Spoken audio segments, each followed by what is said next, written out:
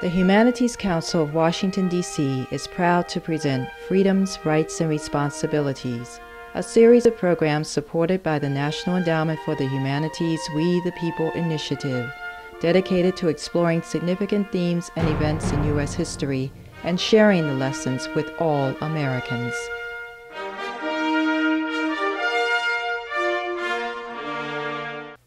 Welcome to Humanities Profile. My name is E. Ethelbert Miller, and my guest today is Andy Shallal. Andy Shallal is an Iraqi-American businessman, artist, and activist. Recently, he opened the very popular Busboys and Poets, a wonderful place for food, networking, poetry, and political discussions. Andy, welcome. Thank you very much. I want to take you back to about maybe 1966, take you back to your childhood. Mm. Do you remember the moment when your parents informed you that you were coming to America? I do, actually. Um, coming to America was the coveted spot to come to. Everyone, when they heard they're, they're going to be traveling, to say you're coming to America was that you reached the ultimate goal of your life dreams. And um, it was a very exciting time. I remember just running all over the house screaming, yeah, yeah, we're going, we're going to America. So you knew for a little time that, that this was going to happen? Or? Uh, actually, it was sort of by surprise. My, my, my father had been had been retired because the Ba'ath regime had just taken over and he wasn't involved with them in any way. So he was doing some traveling and went to Egypt. Um, and in Egypt, he met with, with Nasser, um, the then president of Egypt, who happened to be talking to him and says, you know, we have an opening for, for someone to represent uh, the Arab League in the United States. You think you might be interested? And he says, would I? So he, he went ahead and took the job. Well, if I look at the age that you are, mm-hmm. are you leaving friends behind? You mean back then? Yeah, back then. Well, yeah, of course. I mean, I think that was the uh, the part we didn't think about till we got here. Suddenly, feel so foreign and so different, and um, suddenly feel alienated, and you start missing everybody back home. You know, I remember coming here. It took about maybe three to four months before you start feeling homesick, mm-hmm. and the homesickness is very, very um, upsetting. I mean, you you start crying and longing for your friends, and you know, you go through a period of withdrawal. Mm. As many years have passed, but if you look back, are there any memories that you still cherish? In Iraq? Oh yeah, I, I, I remember some, some wonderful memories. I mean, um, the summers in Iraq very very hot. You know, could be 120, 130 degrees sometimes in the sun, and uh, we used to have a wonderful backyard uh, where we lived that had a lot of fruit trees, and plum trees and, and apricot trees and date trees. And I remember going out in the backyard during a very hot summer day, for example, and watering all the plants and the trees and then sitting in the branches, between the branches of the trees and picking plums. And I could still remember the warm juice of the of the plums, you know, oozing down my arms. It's just it's just it's a yeah, wonderful memories. We used to have chickens in our backyard. We used to raise our own chickens, and uh, my job was to go collect the eggs every morning. So that was that was kind of. How exciting. did you get that job? Well, you know, I, I always loved animals. Mm-hmm. I mean, I, I was just just enjoyed uh, animals all the time. So you didn't see it as a chore? No, no. It was actually I looked forward to it, and I liked sort of revving them up in the morning, pissing them off, pissing off the chickens. Right, yeah. right. I still think the Woody Allen. We need the egg. you, you, know, Andy. I know that many times when um, people do come to the United States, uh, there are many changes. Okay, mm-hmm. I'm sitting here calling you uh, Andy. Yeah. But your actual name is Anas. Right. And and, and I, I, look up as that. Um, I'm assuming your name after Anas ibn Malik. uh, who was one of the early followers of Islam and right. actually gave us the hadith. Yeah. Uh, is that uh, something that was uh, occurred after you were here for a while? Well, it's it's really funny that you say that. My name is it's it's it's A N A S pronounced Enas, mm-hmm. and it's very difficult for Americans, especially then. They weren't used to as many foreigners around. Now we have all kinds of unusual names. In fact, all of my children's friends you know, none of them are anglicized in any way. You know, they all sound so different. Mm-hmm. So it's easy for, for people to get used to those sounds. But back then, it was just very, very unusual. So every time I had to go say my name, I had to say it four or five times, and then it's always mispronounced. Uh, you know, so it's it's very you know, as a, as a kid, you just didn't want to have your name mispronounced right. all the time. So I remember one day, you know, my father, uh, after he left uh, the government, after he left uh, being the representative for the Arab League, he decided to open a restaurant totally different. You know, this is a whole story by itself. But he decided to open a restaurant, and um, we worked in it. And it happened to be an Italian restaurant. So we had to pass for Italians in order to make it authentic. Right. So I became Andy, and my brother became Tony. okay. We won't go any further. we don't know. We don't know. We don't know where the bodies are buried. Uh, if we had a third brother, it would have been Guido, but we, we stopped at Andy and Tony. but you know, we joke about that, but we do see, for example, you know, you, you sort of take on, you know, another culture. Yeah. Okay. Yeah. Was there any attempt in terms of within the house to hold on to certain things? Well, you know, my parents were really not that that big on that. I mean, they really want us to sort of blend and want us to fit in and want us to get all the opportunities that, that everybody else has here in this country. So they didn't really kind of, you know, say we must hold on to traditions. You know, it wasn't like that. Although, you know, as time went by, they started realizing how important it is to hold on to traditions. And, and in fact, I have a sister that was born here in this country who um, she's 14 years younger than I am, uh, and she speaks, reads, and writes Arabic fluently. So uh, that's kind of unusual for someone to be to be you know born here and be able to hold on to those traditions.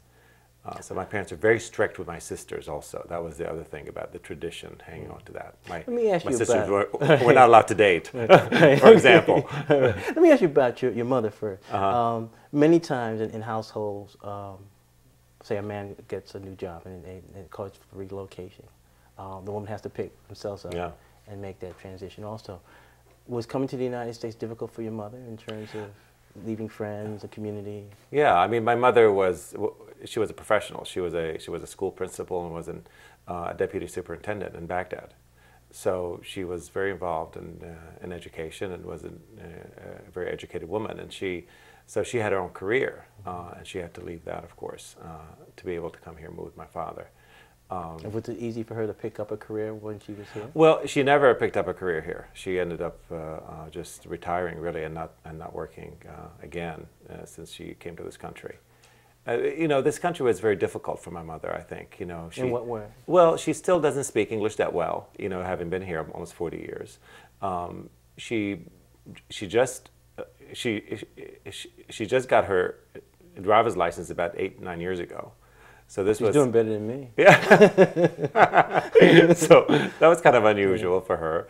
Um, you know, so I mean, you know, I think there was a lot of adjustments that they had to make. They had to find new communities, new people to associate and, and uh, interact with, and they never really quite adjusted to the American culture. Did you feel this growing up? We're here, you, you, you, even though you said earlier you were very excited about coming here, did you feel any sort of things perhaps within your house changing? Perhaps, you know, your mother giving up a career, was there a certain sort of stress that occurred in the house? In terms of Oh, there, there was a lot of stress. There was, you know, the stress that happened after my father had to leave his government job. Uh, you know, having been the representative for the Arab League, you know, the 1967 Arab-Israeli War broke out, and of course, relations with the uh, between Arab countries and the United States were broken. And so, uh, you know, after that, he had to find an alternative career. And I remember, you know, uh, he he had a PhD in in uh, Arabic literature. So not much he could do with a PhD in Arabic literature back in 1968, 69. So he, he thought about what am I going to do? You know, he applied to different universities to see if he can, you know, be a professor. And he was accepted at Utah State University to teach Arabic at the university level there. And we were packed, ready to go. And two days before we were, we were ready to leave, or like maybe like a week before we were, uh, we were getting ready to, leave, a friend of hers, who, a friend of my father's, who was Iraqi, came to him and said, you're really not going to go work for somebody, are you? This is America. It's a land of opportunity. You create your own jobs. You have to find a business, do some business. He says, I have this friend of mine who's selling a restaurant. He said, why don't you get into the restaurant business? It's a great business. And my father says, what are you talking about? I know nothing about restaurants. and he says, well, you don't have to do, you know, there's not much you can do, you know, you, you need to know, you know, just So just suddenly it. Salt Lake Just City wasn't it. looking that attractive Yeah, anymore. right. So he took my father. I remember my father took us and took uh, uh, it was it was my father and my brother and myself. We went to this would-be restaurant that he was going to buy, and we sat at the counter, uh, you know, to watch. It was a Friday night, and the register didn't stop ringing all night long. And my father says, "Aha, that's what I want to do." so so he ended up, you know, just shelving the idea of going to Utah and, uh, and, and, and decided to buy this restaurant. I And- want, I want to talk about your father Yeah. a second in terms of um, him being involved with the League at a key time. And around your dinner table, were the political issues discussed? Did, did you talk a lot of politics in your household? Yeah, I mean, the Arab-Israeli conflict was obviously the, at, the forefront then, because it was very shortly after we got here that the Arab-Israeli, uh, uh, the Six-Day War happened. Um, and so, yeah, that was a constant discussion. And, you know, I still remember the crackling Were there any values that you're, that was being passed down from your father to your, you know, to you and your and your and your um, brothers, in terms Um, of you know beliefs? Well, um, the Israelis stole Arab land, and we must get it back. that was, it was that simple. it was that simple, you know. And uh, so there, there was a, there was always this this sense of, of uh, you know there's there's something that's that, that's going to happen to to avenge the Arab cause somehow, you know, that the Arabs and Palestinians were wronged in 1948, and how is it that you know the world doesn't see this, and how can we you know as an Arab nation come together and be able to you know, give them back their rightful land. And so, you know, when Nasser declared um, the idea of war against Israel, there was a, you know, a lot of jubilation among the Arab, the Arab masses.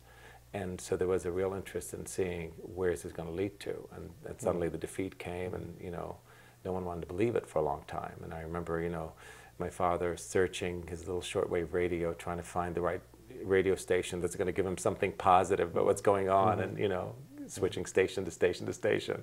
Till I think he was down to one at the end of this that was giving him good news. Well, let, us look at this. You, you turn away at this particular time from the politics of the Middle East. Uh-huh. You're here in, in the United States, Yeah. and that's also a time in terms of uh, racial riots. Yeah. How did you react to those conditions? It was very confusing. You know, it was like a almost a year after we were here, the assassination of Martin Luther King took place, and and you know, I remember we were living in Arlington at the time, and going on top of the roof of our building and seeing smoldering buildings uh, out of D.C. You know, it was a very surprising, shocking kind of occurrence. You know, just never really made quite sense to me. Well, let's try to make some sense Yeah. out of it. Uh, here it is. You're, you, you know, your new immigrants coming Yeah. in. It's, America represents certain things. Perhaps someone looks at the riots in terms of things, people burning things down. Who are, who are you angry against? Who do you side with? Well, it's, it's very interesting. When we first came here to the United States, there was no, uh, you were either black or white. So we were categorized in the black category because we weren't white. And so there was this, this, uh, this feeling is how do you fit into a, a culture you're not familiar with? And so for, for years, you know, I was black, uh, you know, being in. You in still are, Andy. Yeah, of course, yeah. I've, I've gone through many phases. This is- I'm back in my black phase, finding my roots again. There's no more stages. this is it. so so you go through these sort of phases, you know, and so it was it was a very in, you know an interesting time to really try to understand the racial dynamics of this country. Um, I remember traveling down to Florida one year. Uh, we were coming from we were here in Northern Virginia. We were driving down to Florida, and we stopped at a at a restaurant in Georgia, and I remember going in and and, and find this hush to the whole restaurant. There's these different looking people walking through the door and um, you know I, I didn't know what to make of it you know sort of these little moments that you kind of file away and you remember um, but there was always a sense of, of uh, I was I was black in the summer for sure and as, as, as the winter came around I, I got a little whiter but but but but uh, still identified in the black category within the school within Let's, school let's look at two key points. Um, um, you attended Catholic University for a while, Yeah. and also Howard University. yeah. I mean, those are two unique communities. What was that experience like? Um, you know, the university experience was a great experience because it sort of opened up the doors to so many other ways. and you start seeing, first. yeah, you start seeing different people. There's a lot of big, huge Arab community that was there. Uh, there was a big, uh, a big Iranian community that was there. Lots of different communities you were able to fit in, and so we were very much involved in the international club. And so we sort of embraced our internationalism. I think once we, and uh, when I say we, it's my brother and I. We're, Mm-hmm. we're about two years apart um, we, we embraced our internationalism uh, once we got, we, we got into the university. Now, at Catholic University, you became interested in theater and the arts. Uh-huh. Uh, what did that mean in terms of enriching your life? Um, well, the arts have always been very important to me. I mean, I, I uh, have been, um, I remember as a kid, um, you know, did my first painting, and it was a, a, a painting of a, of a, of a landscape of like mountains and a, and a duck pond or something in front. And I remember the, uh, taking that to school and giving it to my teacher as a, like a present for, mm-hmm. some, for something. And the teacher was in awe mm. at how good it was. And I remember her stopping the whole class and saying, Look at this, look at how good this is. And that stuck in my mind. I said, mm. That's where my talent lies. Right. I, should, I should pursue it further. yeah. But you actually pursued the test tubes and, and you moved into like microbiology. I, I did. I did. You know, my, my parents said, You have to be a doctor. You have to be a doctor. Well, I get sick of the sight of blood. I, I it, it, never really occurred to me that I really wanted to be a doctor. In fact, they wanted me to be a doctor so bad that I, I applied to Howard University, got accepted in, in the medical school there, went to medical school for one year and dropped out. this is not for me. Right, right. So I, but I got into the research end of it, uh, mm-hmm. uh, and I did research at the uh, NIH. Mm-hmm. Uh, so I was I was doing leukemia research for a while. When you say that, you know, you look at that skill that you picked up, mm-hmm. and then you look at the 1980s Mm-hmm. You know, where you look at leukemia, you look at AIDS battling. Mm. Do you see yourself sometimes looking back saying, you know, if I had pursued this, I would have obtained a skill in which I would be able to help people in this way, in terms of my research affecting people. Well, when I first when I first went into it, I did walk into it with that kind of an eye, you know, sort of this naive eye that research is pure and is wonderful, and so you mm-hmm. know you're gonna you're gonna save the world, discover mm-hmm. something important. And then once I got in there, I, I, realized it's the most political field in the entire world. I mean, mm. you, you walk in there and you're immersed in politics. It's all about who's going to have what data and where the money is going to come from and all that. So it became a very competitive, uh, backstabbing, you know, very ugly mm. field. I, I didn't like it. Mm. I didn't like it right from the get-go. And so I knew that I had to get out somehow. Mm. So you got out, and, and, and this moves you. I'm going to jump into uh-huh. your involvement in terms of being a businessman. Mm-hmm. And um, I want to ask you some general questions about business, and that, and sure. that is, uh, why does a person open a restaurant or a cafe? I mean, do you have some sort of philosophy behind the type of place you want to create?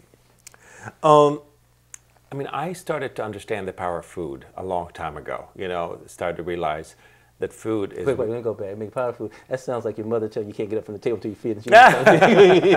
what does that mean, the power of food? Well, the the the way that food can bring people together. Mm-hmm. Uh, I mean, I mean, really, that was you know, you sit at the dining room table when you're having a conversation. When you meet somebody, you meet them for coffee. It's sort of like ritual. It's a ritual that that every culture in the world has. Uh, and it's a, a, ritual that also binds cultures uh, in so many ways. And so, you know, there was I've always enjoyed being around people, uh, and I wanted a, a, the type of business that will attract people to what I'm doing, mm-hmm. and therefore sort of, uh, um, you know, capture them in a, in a, in a mm-hmm. sense.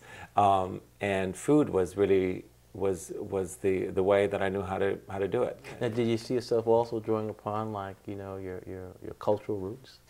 Oh, absolutely. I think I think you know there's a lot of you know food. Uh, plays a very important role in, in the Middle East. I mean, uh, everything is centered around food. What's key if we if we? If My we... father judges a party by the food. And what does he look for? Uh, the quality, mm-hmm. how everything is presented, how good everything tasted.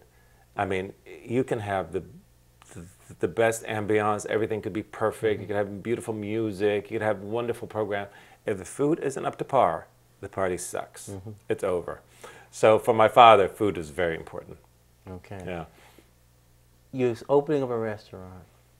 How do you find a good cook, the cook, the best chef? How, how, do you go about hiring that person? Well, I have a good sense for food, so I, I sort of start out with the ideas of what I want, what I what I think uh, most people like. Mm-hmm. Um, I'm a pretty good cook myself, so I, I have certain standards that I like to to achieve, and I try to find people that will meet those standards and, and work with me to to develop a menu that uh, is not ego driven, but a menu that's really driven by the guest.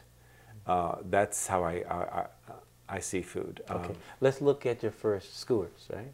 Yeah, skewers. Uh huh. Let's. How does that develop? Where do you get your name from? Why are you using like maybe Lebanese food here?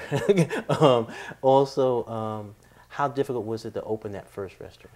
Um, the first restaurant was, was very difficult. I mean, it, it was new, first of all. I, did, not know what, what to expect. And you know, it's very interesting, but when you start opening a restaurant, if you're a creative type person, a lot of stuff happens inside your mind. You're, you know, you're, you're, you're thinking about how it's going to look. You envision the opening night. You mm-hmm. envision people sitting and oohing and awing over the food.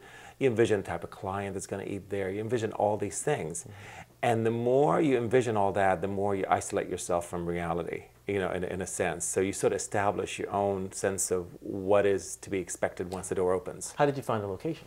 Well, uh, my brother, uh, who was uh, who also has worked as a, as a developer, uh, he's a, he's an engineer and he does some you know some light development stuff. So he was looking around and, and found a space. There was a, a building that was just renovated, um, and um, the owners wanted to, to, to lease it to a restaurant, and um, he's he he struck a deal with them and he started the construction. So he did the construction phase of it, and then I started doing the the other stuff. The, Let's bring another person in. Yeah. What is your wife saying about all this right now? you decide you want to open a restaurant. Um, well, um, we were just married at the time, so uh, Was that in the vows? that wasn't the she, she knew I needed to get a job, so it was a, it was it was it was a job, you know, something to do. Um, and I, you know, I think you know she has a lot of faith in me. She's uh, she's been great in that sense, you know, sort of leaving me uh, to How do come you named thing. the restaurant after her? That's what they do in the movies, right? That's what they do in the movies. Those are the movies. this is real life. so we ended up, um, you know, having this uh, this restaurant with food that I felt the most familiar with, which was Middle Eastern food, because I wanted to be, you know, familiar with all aspects of the restaurant. So, and having sort of grew up in a restaurant, because after my father took over the restaurant business, we were there almost every single day. We'd come after school, go to the restaurant, do our homework, start working, come home, do the same thing. Over. Who was your competition? Mama Issa? Who, who's, who was your competition? Here, Yeah. uh, and, uh, I guess Mama Ayesha was, was was probably at that time uh, the one that's probably the best known of the Middle Eastern uh, genre. And Middle Eastern restaurants weren't that many at that time. We were fairly new. Um, Middle Eastern food was becoming kind of hip. You know, people started to know what hummus was. Um, so I think I think that was that was something that we wanted to capitalize on and take advantage of. Many times when people look at the business, um, they talk about the, the pros and cons of developing a business using the family model. Mm-hmm. You're talking about your brother. Was was there different views? Was was he the best partner for you? Well, I mean, we we later sort of learned we have such different styles. We weren't really the best partners uh, with with uh, one another, and so we split up the business. But but the the most difficult part about opening the first restaurant is really the rude awakening that you get once you open the door. You realize that all these images you had inside your head weren't real. I mean, you know, there wasn't this huge outpouring of people walking through the door. It wasn't as easy as you thought it was going to be. You know, it was much harder than he expected it to be, and so on. So there was a lot of disappointment, really. And uh, you know, most people you know know me as a very successful business person who's had a lot of uh, successful restaurants. But Skewers, when I first opened it, was not successful. It was it was it was really. Uh, I remember having many nights where we had like several, a handful of people walking through the door. If, if you look at the mistake that you made, what would have been one of the you would have done differently? Um, I would have been probably done more of my homework uh, by sort of connecting with the environment I was in. I was very inside my head and, and really didn't have the opportunity to go out much and meet the people and meet the neighbors and meet the other business people around. And so I, I you know, for, for, for a while, I would, uh, you know, we would sit at the, at the front waiting for the customers to walk in. And, you know, our customers don't just walk in, you know. Uh, a lot of times when you see successful restaurants, you say, oh, they're so lucky, you know, the people just just fell through the door. You know, luck has very little to do with it. It's a lot of hard work to get those people Right. through the door. Let's look uh, sort of come up to where we are today. Yeah. Um, our city's changing. You know, it's Yeah. changing in terms of colors, gentrification, everything's changing. Yeah. Um, you put a business where you have now on, like, say, 14th Street, um, condominium going up across the street. What are the risks in terms of this changing city? It looks like it could be good for businesses, it could be bad for businesses. Yeah, I mean, you know, if you're looking just strictly from a business perspective, you know, I think more development is always better. You know, you get more people, you get more people have more money. Of course, you're going to get more, uh, more, more, more business. But I think if you're looking at a sense of, um, you know, being a part of a community, developing a, being uh, an instrument in, in, in creating that community, then you look at other things as well. You know, to me, I really never opened a business to make money. Honestly, this never. it's always been either a, a love or something that I want to do. It's just a, an extension of my creativity. Um, you know, a painter does not paint a painting to sell it. I mean, usually the best painters don't do that. Let me put you on the spot here. Um, you're across the street now in terms of busboys and poets from the Reeves Building. Um, I don't know what goes on in the Reeves Building. I don't want to know sometimes. But if you were looking at the things that are needed for Washington, D.C. in terms of, you were the new mayor, for example, mm-hmm. what would be some of the concerns that you would be focusing on? Um, there's a lot of concerns I think that, that, the city has to be involved in. Um, you know, interesting, this whole thing of gentrification has been at the forefront of my mind, and, you know, had a lot of conversations about it and um, trying to do something about it as well. There's, there's a moment in gentrification where things seem to work well, you know. Such as? Uh, well, for, for, for example, you know, take the 14th, uh, the 14th Street corridor. After the riots and, and uh, you know, the time there was a real, it was a real depressed corridor. I mean, there was heroin addicts and drug addicts and crack addicts all over the street there by U Street. Mm-hmm. Um, it wasn't safe to be in at any time of day or night, for that matter. And uh, all of a sudden, you have this new development coming. You have new restaurants. People are walking the streets suddenly, and and suddenly there's this moment in time where you see this sort of mixing of cultures coming together. Mm-hmm. It becomes a crossroads. It becomes a real opportunity for the city to grow and, and mature. And yet, you know, and so that's that's one the first phase of gentrification, and then you get the second phase where it just tips, and suddenly it just you push everybody out that was there, and you get this new slew of people that are there that are not really connected to the space they're in, and suddenly gentrification rears its ugly head, and so everyone talks. That's the part that's bad about gentrification. The first part of gentrification, most people would agree, is probably not a bad thing because you're, you're creating a safer environment, more services, and so on. So the city or the government, you know, needs to get involved and put some kind of blocks to slow down the tipping point mm. and allow for, for somehow the good part of gentrification to continue to, to move forward and the ugly part to get held back. Well, one of the good parts of the area that you're discussing is your restaurant, Busboys and Poet. Talk about the beginning of this because it's a partnership that's there um, the location, mm-hmm. um, the name. Um, fill us in in terms of why you decided to build something like Busboys and Poets.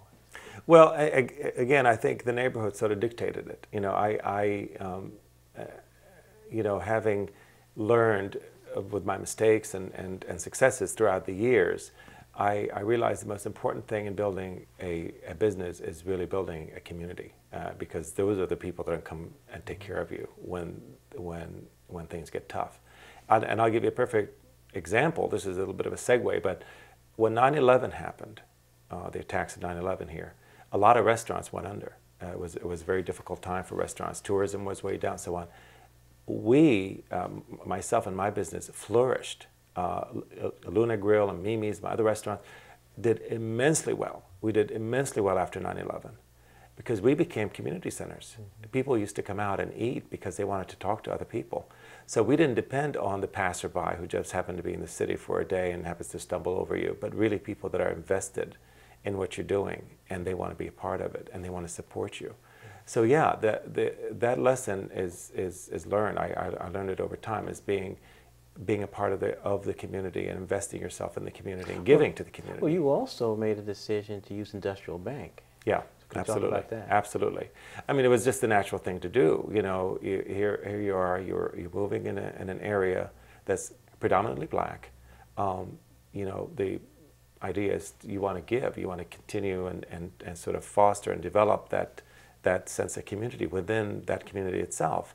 And so in the, the industrial bank being one of the oldest black owned banks in the country was the natural place for me to go to try to get money to keep the money and the resources in the community. Um, so they were wonderful, and they, I had the opportunity to, to make a, a, very good deal with them. And, now, and they understood what I was doing, so they were very supportive. Now talk about your relationship with Teaching for Change, which is... I was on the board of Teaching for Change, which is uh, an organization that brings uh, all kinds of civics type education to city schools here in Washington. And um, um, I I had worked with them in the past. I know they had this wonderful catalog. They put out all these wonderful books every year. and I thought it'd be a great opportunity for them to be able to find to have a storefront. Uh, it, it will get their name out to the community that they're trying to serve, and also uh, be able to help me put together a bookstore that I wanted to have. Um, bookstores are very hard to run and very hard to make profitable. And so I approached them and see if they were interested in it, and sure enough, they were. Um, so they run the bookstore as a nonprofit, and it's one of the few bookstores in this in the city of this size that makes money. And the reason why it makes money is because they don't have to pay rent, they don't have to pay for the electricity, they don't have to pay for the phone. They just are there to just man it and be able to keep up with the inventory. Mm-hmm. So it's been a great relationship. For me, it's a great spot because it adds a, a lot of ambiance. It creates a, a, a, wonderful place for people to gather. A bookstore. What were, what were some of the names of this place? Uh, I, I, sort of remember well, some names being mentioned. Yeah, well, we had we had thought. I mean, the the first thing that, that came up, you know, is I wanted to make sure that everyone is involved in the whole process of developing this restaurant. Was the name Busboys and Poets, which is named after the poet Langston Hughes, who worked as a busboy here in Washington in the 1920s. And so using the word busboys and poets, I remember sending it out to a few people, say, what do you think of the name? And I received a couple of emails back saying, I don't think this is an appropriate name because you know who wants to be called a boy. this is this is you know we're here we're in the 21st too. century. You don't call men boys. You know what is this bus boys? You know you can't do that. You know so I thought you know bus men, um, bussers, bussers, you know, and, and, and none of it made sense. It seems so shallow and so fake, you know, when you start, you know, meddling around with that kind of stuff. And so, you know, we went back and forth and back and forth. And I think you were involved in that I conversation. Sure uh, yeah, about the idea of, of, of how do you how do you hold true to the name sure. as it was? Because Langston Hughes was called the busboy poet. Mm-hmm. You know, he wasn't called the busman poet. Right. You know, he worked as a bus boy. You know, so how do you hold true to that and, and yet not offend other people? And so, you know, we, we sort of decided that. Well, let's, let's, talk, let's talk about holding true to certain things. Um, if I was um, a very conservative guy, I, I, would walk in maybe to Busboys and, and, and, look at a few book titles before I even looked at the menu and, and perhaps maybe go out. I mean, um, how do you create a space that you feel is very welcoming to people? I mean, and in terms at the same time have a space that does have its particular politics. Well, I mean, again, it's understanding your community. I mean, I wouldn't open a place like this and, you know, and, in some sort of conservative town, USA, you know. It, it, this is a, Washington, D.C. is a unique, special town, and it, it has, uh, you know, its own sense of community. And I think this, this restaurant, the store, really speaks true to that sense of community that Washington has. Um, it works very well for, for and, and it happens to fit my politics. I wouldn't open a, a, a place in a conservative area. Uh, it wouldn't fit my own personal politics. Talking about your personal politics, yeah. uh, if a person walks into Busboys and they go to your Langston room, they see your, your mural, mm-hmm. your Peace and Justice mural. Mm-hmm. Um, was that an idea that was in your head before the, the restaurant? Yeah, I mean, I, uh, I've had those images uh, hanging in my, I, I, had, I had a home office uh, when uh, you know before we opened Busboys and Poets, and it had these big images. I had them all over the wall, and I made them into into wallpaper. And uh, so but they're not just images. I mean, if you if you look at it, uh, there is a sense of, of struggle. There yeah. is a sense of individuals. Uh, I'm going to put you on the spot. Why do some people have frames around their heads and others don't? That's purely aesthetic. what am I doing up has nothing to do with it. You have a frame around your head. I remember that. Yeah. Uh, that, that's purely uh, just this from an aesthetic balancing uh, point of view. That's, My head, that's, right? That's artistic. Yeah, your head was just off, off off kilter and I had to balance it with a frame. Well, let me tell you, I'll, I'll tell you how. And I have to put a frame around your head, otherwise it's just too big. Right, but, I, but I, I, I, tell you this, in terms of, uh, of things that I, I, I do, I'm very excited about, it does speak to me. You know, I won't say it just because I'm in there, but it does. If I was a younger person, it does tell me, okay, I have a certain responsibility. If I look at a picture of Gandhi or King, I, and and I, I wonder about that in terms of one should one look at the mural and then like go to the bookstore and buy something? I mean, is that how you want the place well, to work? I mean, I, I like them to look at the mirror uh, at the at the mural of, and feel hopeful. I mean, I, I, think oftentimes in these in these very difficult times, uh, you know, these uh, warring times, political times, and so on, people tend to be in a lot of despair. They, they tend to lose hope. And I think looking at the mural, you realize, you know, there were people that had walked on this earth that, that made some amazing, amazing strides against the biggest of odds. And it gives us, I think, for especially for young people, when they see it, they feel like, yeah, it's possible. I, I can, I can see myself doing this. I can see myself walking in the, in the footsteps of, this, of these giants that we have on the wall. And it's not just giants we have there. We have ordinary people too there, and that's important, I think, for people to understand. It's about people make history. Exactly. It's it's not just about the icons. The icons don't aren't the ones that make the history. Really, it's the people that make the history. Now you're talking about people. You've had since the restaurant is open. Uh, you've had a number of people come through and speak mm. uh, at Busboys, um, do author signing. Looking back over a year, who are some of the people that have a special place in your heart? People that you really admire that mm. have been in the space? Well, I mean, one of my favorites always stands out is is uh, is Howard Zinn, uh, who uh, a is a historian and has written people's history of the United States and has been such a wonderful friend and ally.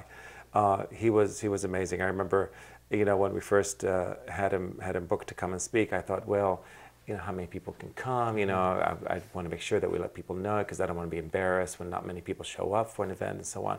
So I was kind of a little concerned about it. And suddenly, like five hours before the event was going to start, there was a line forming outside the door. And I thought, oh my God, this is amazing. Mm-hmm. And uh, all of a sudden, you see, um, you know, hundreds of people walking, you know, walking in and, and, and fighting to get in to hear Howard Zinn. Mm-hmm was a real um, eye-opening experience for me thinking hey you know pe- there are a lot of people that care about the same issues that i care about that care about justice in the world that care about the good and so on. So it's been it was it was just a, a very exciting moment for me to see that. People like sonia sanchez uh, you know coming in just uh, being there and just standing up and, and, and having come to open open mic night right. you know or, or or people like um, like uh, like amiri baraka uh, who happened to be just uh, sort of dropping in, was looking at the mural, and he looks at the picture and says, that picture was taken in my house. he says, that was a spirit house in New Jersey. I remember I was there. You know, I took the picture. You know, it's like these, these, these kind of moments that you get that like you say, wow. Hmm. Um, there, has been, you know, so many just, and, and ordinary people. Um, there's a, uh, um, there's a, a a gentleman by the name of Anthony Age, who's uh, in his 80s. Uh, he's a local guy and a, and a wonderful, gifted poet who, mm-hmm. um, who was walking, uh, walking around one day and just happened to drop in open mic night and was coming in very regularly to open mic. And we sort of had this special seat for him when he walks in. You know, he's an elderly guy, and we had to had him sitting down, made sure he had a chair every time. And uh, I remember sort of running into him one day, um, a couple of days after an open mic night, and um, I invited him in to come and have a cup of coffee with me, and we were inside talking, and he says, you know, I lived here for most of my life, and he said, I was getting ready to move to Baltimore. And uh, then I walked by here and went into Busboys and Poets and got involved in this open mic thing, and I changed my mind about moving. He mm. said, I, I, finally I feel a sense of connection back to the city. That's the answer to gentrification. Uh, really? exactly. you know, if I go back, I think the first time I met you, um, who uh, my friend Miriam Nathan introduced me to. Mm. And I, I, I, mentioned Miriam because when I first saw your name, I began to associate you with the Peace Cafe. Mm-hmm, mm-hmm. Uh, talk about the creation of that. The Peace Cafe was formed about six years ago with a, um, a wonderful friend, Ari Roth, who is the artistic director of, Theater the, J. of Theater J, which is the Jewish theater here in Washington. And there was a play called Via Dolorosa that was being uh, performed at Theater J. And it's about the about a, um, a, a story that was told by David Hare, who is the author, who traveled to Israel and decided to go into the Palestinian territory and saw the imbalance between the two sides and decided to come back and write a play about it. Beautifully written play and very nuanced and uh, really uh, allowed people to see both sides of the conflict. And being shown at a, a Jewish theater in a, a, a fairly conservative Jewish community center was was, was sort of groundbreaking uh, in, a, in a sense.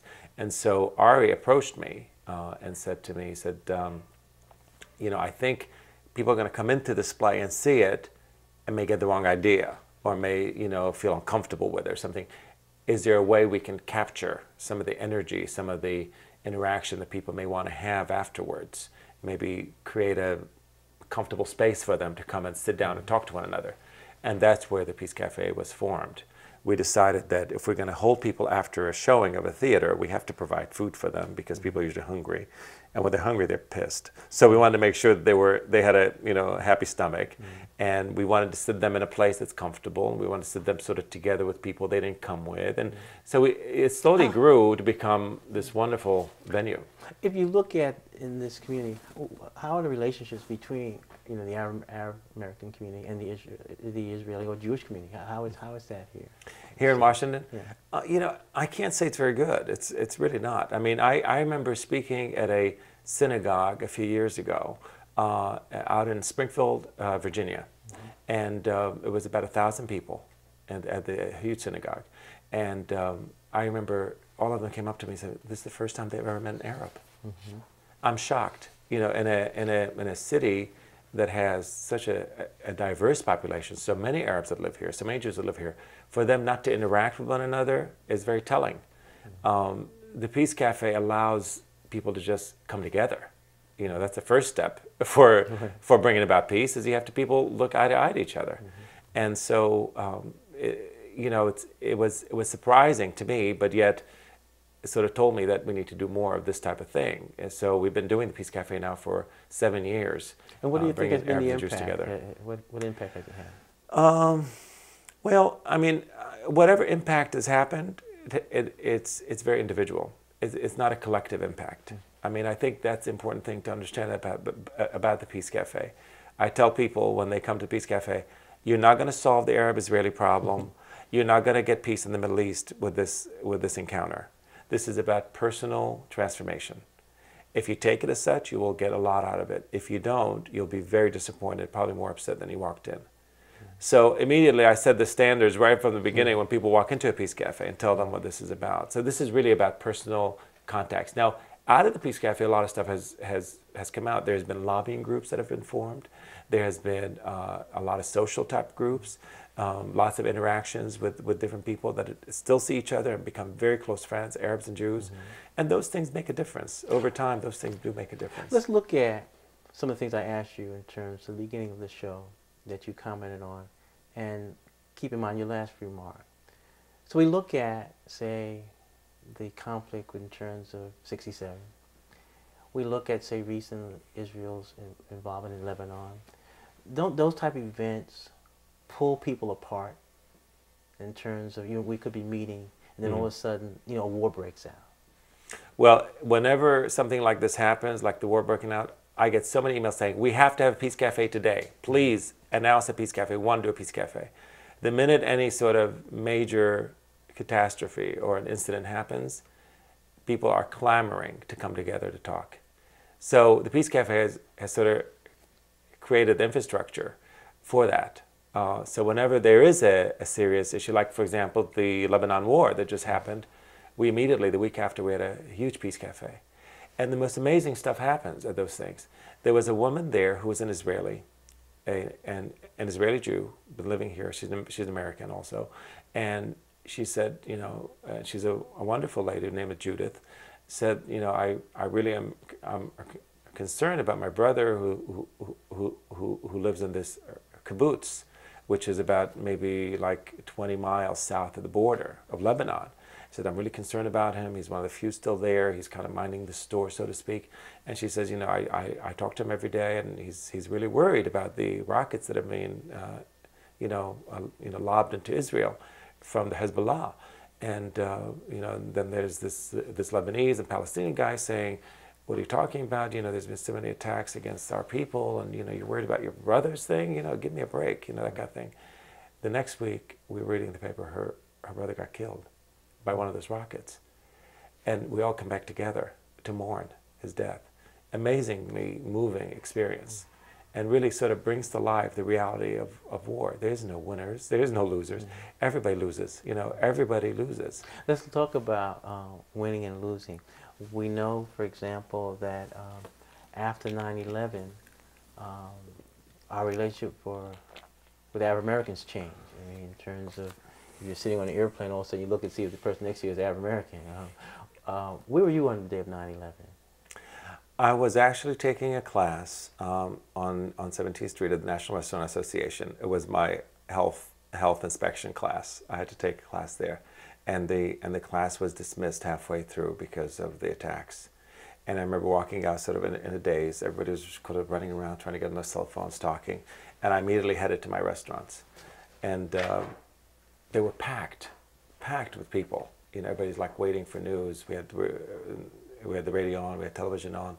People were trying to, you know, connect with loved ones. We were trying to help them, you know, make phone calls and things like that. So that's where I was on 9/11. And then, you know, I was I was uh, as the day wore off and you started understanding this is going to be a huge problem because they've they've discovered that many of the attackers were actually of Arab descent you know, my heart fell. I, I knew there was going to be trouble. Let me ask you about that because our mutual friends do hear Hamad writes about this. Yeah. Um, did you, Andy Shallal, experience any sort of hate mail or phone calls from while? Nothing overtly. Uh, very interesting. I mean, very minor stuff. The, but the the other stuff is the stuff that you you know you know and, and it's interesting because I talk to my black friends mm-hmm. and they feel it. You know, it's the same kind of stuff that happens. You know, it's not overt, mm-hmm. but yet it's under the surface, just enough. Um, you know, everyone put up flags uh, on the day after after 9/11. I thought, what is that? A flag is just a, a way to divide people. Mm-hmm. I don't want to put up a flag. You know, I'm part of the world. I'm part of humanity. Um, so I didn't put a flag. And I remember one of our neighbors walking by and saying, "Do you do you need a flag? Do you are you, uh, you know, you don't have a flag? What's, and said, no, thank you. She ended up having to bring a small flag and stick it in our, in our front yard. Um, Let's talk about you for a second, though, as a father. Um, you know the society's changing. Are you concerned about your daughter's safety? Are you concerned about what might happen to them in schools? I mean, do you discuss things in the house? You mean for them being Arab? Yeah. Um, and, and after 9/11. I mean. We we talk about it all the time. I mean, and and I I am one that I've always taught my my children that they have to to to stand up for for justice. They have to stand up for what they believe in. If they see injustice being done, if they don't do something about it, they're part of it. They're part of the injustice, no matter who it is. You know. Let's look at something. Make a parallel here. Uh-huh. When we look at what you tell your daughters, mm-hmm. you know, it's this time. Is your father saying the same thing to you? Is, is it easier to raise, was it easier to raise a child back in like the 60s as it is today as an Arab American in um? We learned most Taking into consideration 9 11. Yeah, I, I, you know, we learned most of our stuff with, when it comes to my parents through osmosis. I mean, I, I there wasn't a lot of like, sit down, okay, this is how it's done, this is how we do it. I, I don't remember many of those types of conversations with my parents. It was all, you know, the Middle East is very communal anyway, you know, so you learn from the community. You know, there's so many, there's so many, um, you know, checkpoints throughout your life and your interactions on a daily basis that you don't stray very far. You know, so everything's kind of set for you. Uh, in this kind of culture where there's really very few checkpoints and you're kind of wide open, everything is wide open it's easy to stray. So if you don't sit down with your kids and talk to them about these issues, they can go in any do any well, let's, direction. Let's talk about the checkpoints. Um, after 9/11, we saw um, our government uh, making changes in some of the laws. Mm-hmm, mm-hmm. Uh, we know, for example, when we look at civil liberties, uh, many Arab Americans, you know, were concerned uh, about how they were treated. Mm-hmm. You know, how they might have been um, harassed. Mm-hmm. Uh, do you know, in terms of of how this affected maybe some of your friends? Oh yeah, I mean many. Uh, there, even even my brother had the FBI visit him. I mean there there's been a lot of a lot of people we knew that ended up uh, you know either being deported or being harassed or being uh, some were detained um, and for for no reason other than the fact they were Arab. Uh, many people were were kept off planes uh, without an apology um, as if this was the norm. And uh, how dare us even ask, you know, um, what would you do? Why would you know? Why would you expect otherwise? You know, this became a different country, a whole you, different country. You ever look at yourself as a as an Arab American businessman and perhaps look back to Japanese businessmen in say California? Oh, no question, no question. I mean, that the first thing that came to our minds is internment, and it's still not off the table. I mean, that's the scary part about what, what we're going through. Is you know we've been very lucky that we haven't had another huge attack or huge incident, but you know it's only a matter of time. Do you, Uh, do you feel that this is something that's not discussed, like openly, you know, where you pick up the newspaper and there's an op-ed piece, or there's somebody running for political office and they mention this? Um, it's, it's, I think, I think we tend to be in denial about these things and we tend to react rather than act. Um, so I think, you know, again, I mean, Arab, the Arab American community here has tried to make some strides, to try to move forward on some legislation and so on, but it's very difficult to move in any direction at this point with this current administration. Um, but again, everybody's waiting for the other shoe to drop. You know, we're sort of just limping through right now. Um, I think, you know, the one thing that 9/11 taught me is that is is that no matter how much stride you make in this country, you're always a guest. You're always going to be the guest. You're never going to feel like you really belong here. Let me ask you this: When you talk about belonging, uh, many times, especially for people who are, who are not Arab American, when we think about Arabs, we, we, we immediately think that they're all Muslims, which is not Right. the case. We go with, how does religion, uh, what role does religion play in your in your life? Um, not much. Uh, I, I'm not a religious person. I, um, I'm, a, I'm a spiritual person, but I, I don't, uh, I'm not a religious person. Um, I grew up in a family that was pretty secular. You know, my, my parents, uh, you know, celebrated the holidays just because it was fun. Uh, but it wasn't because they were, because of the religious implications. Uh, you know, Ramadan was big in our family because it was just a great time for a family to come together. You know, we'd fast all day and, you know, get together at night and, you know, everybody brings something. So how, how do you feel when, when you look at how society, societies have changed, you know, not only here but in many other countries, where you see Islam having a presence to such an extent that when people talk about Arabs, they just think immediately of Islam. Does that sort of mess with your own identity in terms of, you know, Well, I, I do identify as a Muslim, so it, it's, it's, not, it's not that. I, I do feel that there's a lot of ignorance in, in this country still. Uh, you know, there has been a lot of opportunities to learn, and, uh, and yet we tend to always revert to the lowest common denominator when something like 9-11 happens. And, and, and again, I think the true test would be what are we going to be like as a society if, God forbid, another uh, you know, catastrophic incident happens like 9-11? Well, let's go back. I'm coming to the end of this interview, Andy, and um, I opened up asking you a question about your childhood, and I asked about whether there were certain memories that you cherish. Hmm. I wonder how you feel when you look at television or read about the bombings and what's happening in Baghdad, what's happening in Iraq. Does it break those memories that perhaps that you've had of that?